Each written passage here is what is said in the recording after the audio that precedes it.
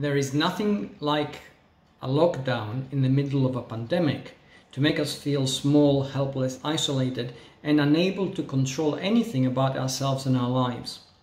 The sense that we're losing control happens to affect us neurochemically and neurobiologically so that our, so that our brain and our bodies begin to shut down and uh, behave in ways that uh, truly reflect a sense of loss of control. And then we find ourselves in a self-fulfilling prophecy where we really cannot control what we want to do physically or mentally and panic sets in and focus or the lack of focus sets in and then everything else begins to spiral downwards. How do we get out of that? How do we, when we work from home, in essentially a physically isolated environment, begin to break out of this pattern of behavior? And we usually do it with one thing.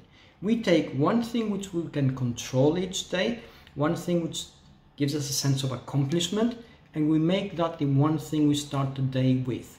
It could be exercise, it could be just reading the paper, it could be writing your thoughts down in a diary, it could be anything which gives you that physical and mental and psychological sensation that actually we're accomplishing something which is of value to us.